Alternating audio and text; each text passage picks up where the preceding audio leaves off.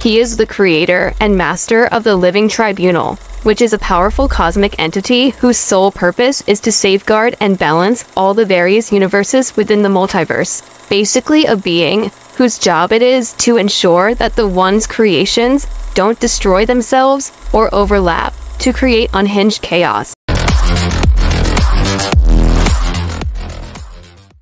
The creator of all there is and ever will be in the Omniverse, the one above all, is the most powerful being and effectively the ultimate god of Marvel.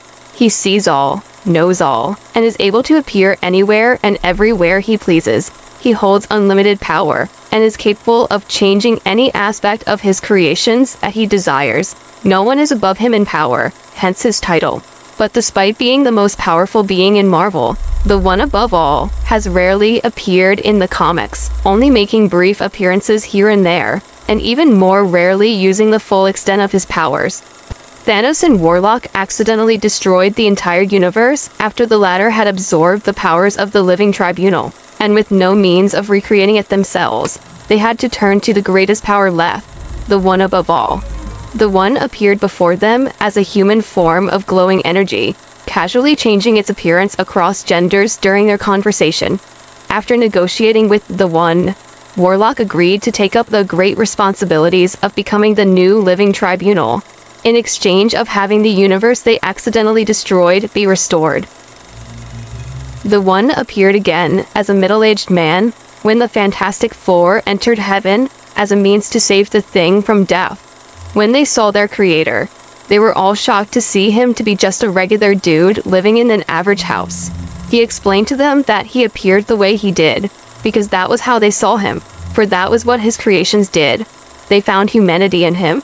It's later revealed that the One is an artist, and that he creates his worlds by first drawing them and then letting them play out as they would naturally.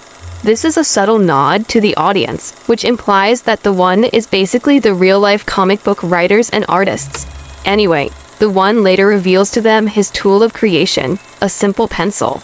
Later, using the same item to heal Mr. Fantastic's burn on his face, he then told them that he was going to save Grimm from death, before teleporting them all back to reality, with their fully healed friend. There is no solid incarnation of the One, but rather he appears what the viewer believes him to look like. For some, he appeared as a bright beam of energy in human form.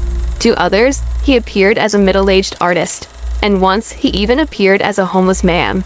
He appeared as a homeless man to a raging Peter Parker, who was overwhelmed by the fact that Aunt May was on her deathbed and was soon going to die. Initially, Peter was hostile towards the man, telling him to back off, as he wasn't in the mood to talk to any random strangers.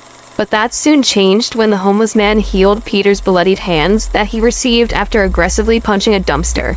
Realizing this wasn't any ordinary person, Peter asked him who he was and began to get a bit nervous as he became aware that his spidey sense never alerted him of the homeless man's approach. The homeless man went on to reveal himself to the young man, filling his mind with his true identity. Peter then understood that he was now talking to his creator. Peter initially demanded that he save his Aunt May, that he'd do anything to get her back, but the one didn't entertain his demands, instead taking him to a beach as they instantly teleported across dozens of miles. There, he showed Peter the thousands of people he had saved as Spider-Man, showing him all the good he had done despite all the suffering he has gone through while taking up that role, that most people that experience the same suffering tended to become worse as people. But not Peter. He was different, and that he should be proud of his actions, despite the hardships he had gone through. The one then left Peter with the final words that he must have faith. It's not clear why the one took the time to do all of this, but there are two possible explanations. The first one could be that he truly cared for Peter, as he viewed him as such a pure person, so much so that he genuinely was proud of his creation, and he wanted it to make him feel better without directly altering anything else.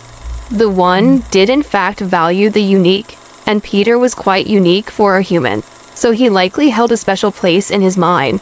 The other explanation could be that the one was simply trying to better understand his creation's feelings. Maybe he didn't fully understand humans and wanted to get a direct glimpse into them. Some fans have suggested that it's possible that humans were not directly created by the One, which may explain his keen interest in them. but so far there haven't been any concrete answers to his motives.